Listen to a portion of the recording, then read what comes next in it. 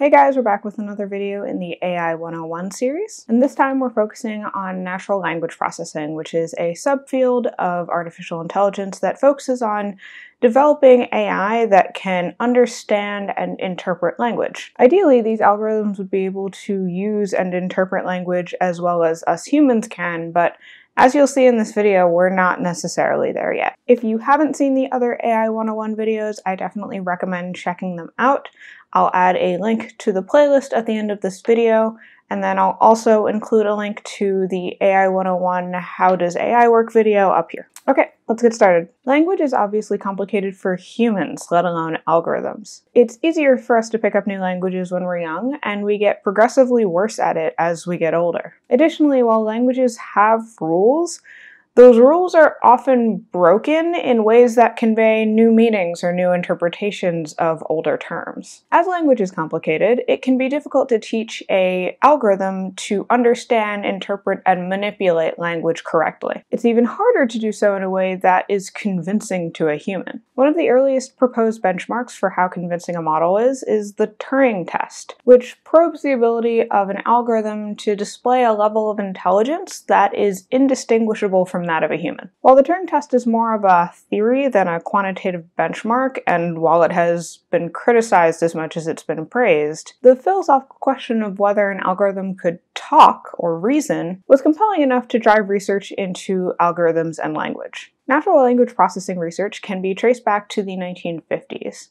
Up until the 1980s, these algorithms were primarily rule based and wouldn't fit into what we currently consider to be artificial intelligence. Instead of relying on machine learning, they relied on complex preset written rules that were developed by humans. You can think of them as if then statements. If someone said one thing, it prompted a preset response. This isn't to say that these algorithms were bad or didn't sound human. In fact, the complexity of these preset rules allowed for some surprisingly realistic interactions between machines and humans. This realism improved with the introduction of machine learning in the late 1980s. Instead of relying on preset rules, these algorithms relied on statistical correlations in large sets of text, often called corpora. Corpora were annotated with labels, such as parts of speech, so that supervised learning could be used to train algorithms. Corpora were annotated with labels such as parts of speech so that supervised learning could be used to generate coherent sentences. The algorithm would assign probabilities to different sequences of words, and the sequences with the highest probabilities would be generated as sentences. More recently, deep learning has been used in natural language processing to create better models. We've also seen the rise of unsupervised learning, or learning on unlabeled data, and semi-supervised learning, or learning on a mix of labeled and unlabeled data in natural language processing. These last two are actually much harder to use to develop good models because the labels that are typically assigned to the parts of the text in the corpora help models learn things like syntax, semantics, and sentence structure. However, they can result in some pretty impressive models. Now, this can be kind of hard to understand just by my rambling, so let's look at an example. A model that we've talked about in the past on this channel is GPT-2. GPT-2 is a language model developed by OpenAI that can generate paragraphs of text. And I'm not going to get too far into the details of GPT-2 and why it's a particularly interesting model, if you're interested in that, you can check out my video on dual use algorithms, or you can check out a bunch of references in the description box. In short, it's an unsupervised learning based model, so it does not use labeled data, but still is able to generate extremely convincing paragraphs of text on a variety of different topics. Now, while you could go to GitHub and download the model yourself, Max Woolf, who's a developer at BuzzFeed who also does a lot of open source machine learning projects on the side, has actually created a website where you can type in different prompts and see what GPT-2 writes based on that prompt. As you can see here, I'm typing in different prompts to see what the model generates.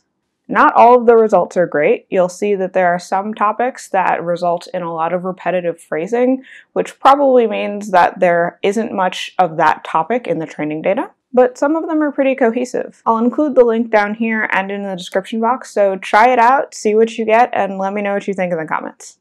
And that's all I've got for you today. If you like this video, you can let me know by smashing that like button and subscribing to my channel. You can also support me on Patreon. Thank you so much to all of my current patrons.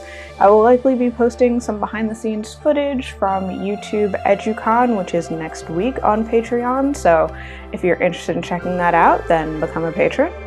Otherwise, you can find me on the various social medias, and I will see you guys in the next one. Bye. This realism improved with the introduction of See, words are hard in the morning for me, let alone algorithms. If you haven't seen the other AI 101 videos, I definitely recommend words. In fact, the in fact, the complexity of the rules allowed them. If you haven't seen the other AI 101 videos, I definitely recommend was enough to partially at least push the field towards, no, you can think of them as if then statements. If someone said,